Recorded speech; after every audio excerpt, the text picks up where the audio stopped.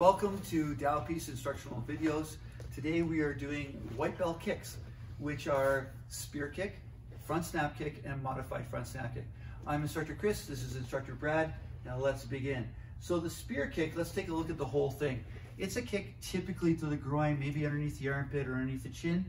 In this case, we're gonna do a low level kick, and it's gonna be hitting with the uh, into the paddle with the ankle or with the shin of their of his leg. Go ahead, a couple more, please, sir. Nice. Now you notice as he does the spear kick, his spear kick's coming from the back leg, but he's allowing his right arm to go from a back position to a front position as he kicks. Great. Now let's break it down. First of all, we have the elevation of the leg.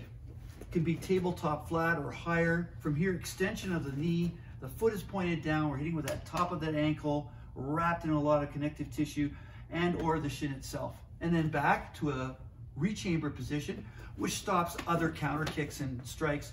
And if from there, he could also kick again. And then back down into the stance.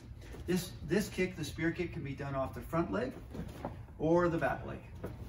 Let's move on to the front snap kick. Sorry. In the front snap kick from the same side angle, the kick looks very much identical.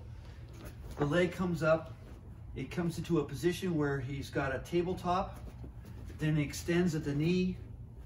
This time though, toes are curled up towards the ceiling, hitting with the ball of the foot. But the foot is still plantar flexed forward and down, so it takes the force um, all the way up the leg in a nice straight line, not flexing the ankle and damaging the ankle. Let's take a look at this kick. He's going to, Instructor Brad will kick off the front leg and the back leg. So nice high extension and then pushing forward. This time Instructor Brad will do the front snap kick, but allow his hips to come underneath so it's an extended front snap kick, getting a little bit more distance. These two kicks are really useful and helpful uh, in our typical sparring and self-defense. Now we're going to take a look at the modified front snap kick at the same angle.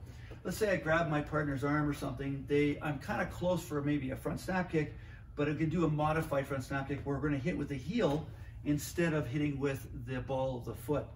In this time, this kick, the knee, instead of coming straight forward, is often canted a little bit to the outside, allowing for more absorption of space if I'm really, really close.